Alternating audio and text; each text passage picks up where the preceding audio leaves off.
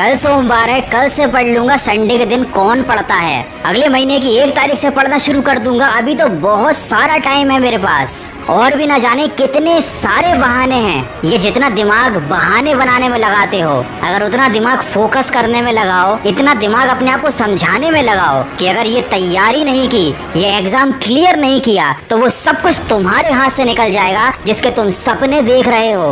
फिर उस टाइम बैठ कर मत रोना। मैं जानता हूँ, जो भी ये वीडियो देख रहा है, वो अपनी लाइफ में कुछ ना कुछ बड़ा करना चाहता है। आपके पास एक टारगेट है, बस थोड़े से मोटिवेशन की ज़रूरत है, क्योंकि आपको अपने आप को जीतने की ज़रूरत है। और वो मोटिवेशन कहीं और से नहीं, बल्कि आपके अंदर से ही आएगा। जब कोई आकर आपको जगाएगा और कहेगा कि तुमसे कुछ नहीं हो सकता, तुम किसी लायक नहीं हो, तुमने ज़िंदगी में आखिर किया ही क्या है? और जब कोई तुमसे आकर ये शब्द कहे तो कहना, मेरा लक्ष्य हाथी का बच्चा है। इसे पैदा होने में टाइम लगेगा, लेकिन जब ये धरती पर चलेगा तो पूरी धरती काँप जाएगी। मैं पढ़ूँगा, कोशिश करूँगा, ज़िंदगी में आगे बढ़ूँगा, लगातार। क्योंकि रफ्तार से बढ़ना जीत नहीं, लगातार बढ़ते रहना ही जीत होती है। रफ्तार से खरगोश दौड़ता है, लेकिन जीत कछुए की होती है, जो धीरे धीरे लगातार अपने लक्ष्य की तरफ़ बढ़ता जाता है। उसे लोगों की बातों का कोई फ़र्क नहीं पड़ता। तुम्हारे जैसे कितने लोग एग्ज़ाम निकाल लेते हैं, यूपीएससी क्लियर कर लेते हैं, आईएएस बन जाते हैं। तुम्हारे जैसे ही कितने लोग एग्ज़ाम नहीं निकाल पाते, सिस्टम की गलतियाँ गिनाते रह जाते हैं।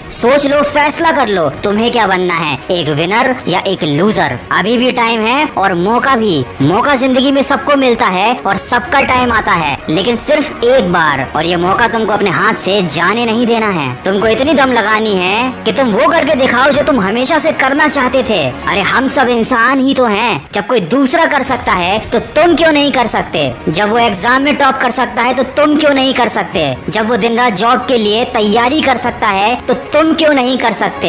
जब वो दिन रात पढ़ सकता है तो तुम क्यों नहीं पढ़ सकते? क्या कमी है तुम में? पूछो अपने आप से। तुम में कोई कमी नहीं है। तुम तो उससे बेहतर हो। फिर क्यों पीछे छूट रहे हो? आगे बढ़ो और दिखा दो इस दुनिया को कि तुम क्या हो और क्या कर सकते हो। कोई भी एग्ज़ाम कोई भी परीक्षा, कोई भी तैयारी तुम्हारे लिए बड़ी बात नहीं है। बस एक बार तुम अपने मन में ठान लो। और अगर इन सब बातों से तुम्हारे सीने में थोड़ी सी भी आग लगी है थोड़ी सी भी शर्म बाकी है तो अपनी की गई गलतियों को सुधार डालो। वरना मेरा इतना कुछ कहने का और तुम्हारा इतना कुछ सुनने का कोई मतलब नहीं रह जाएगा। आशा करता हूँ मेरी इन बातों से आपको थोड़ी सी मदद ज़रूर मिलेगी। अगर आपको लगता है कि इस वीडियो में कही गई बातें किसी के काम आ सकती हैं तो इसको शेयर ज़रूर कर देना।